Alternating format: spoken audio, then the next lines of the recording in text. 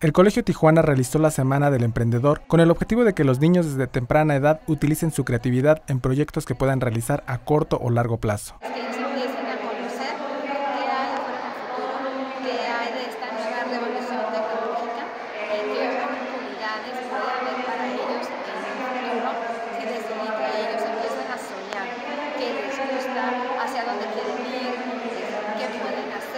Esta es la primera vez que el Colegio Tijuana realiza la Semana del Emprendedor, abordando conferencias con expositores nacionales, másters de Monterrey y Ciudad de México, con el objetivo de sembrar en los niños una vista hacia el futuro. Todos estos niños jóvenes están recibiendo